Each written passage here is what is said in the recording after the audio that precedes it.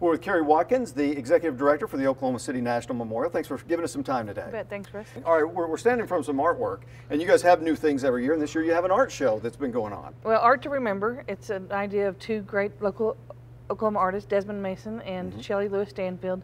And they really have just painted some paintings that, in many ways, reflect um, what this community's been through the dark days, the bright days, the days in between. And so that they have, um, the, they opened the, the show and it lasts to the end of May.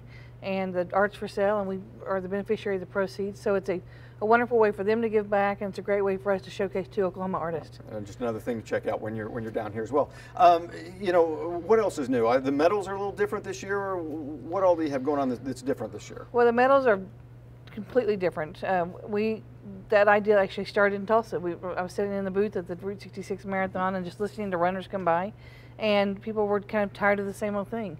And we'd had some change over the last year of the marathon started as its own 501c3, and then this past year they've transitioned it to the memorial for us to own and operate. But we still use 100% volunteer base to make to make it work. But I was sitting in the booth at the Route 66 marathon, listening to runners from all across the country, and most of them started saying, "You got to change these things up. It can't look the same every year."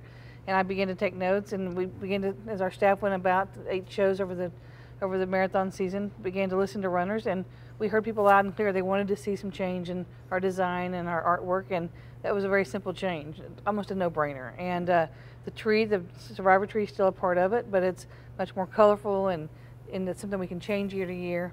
But I would say that I just started in Tulsa, Oklahoma.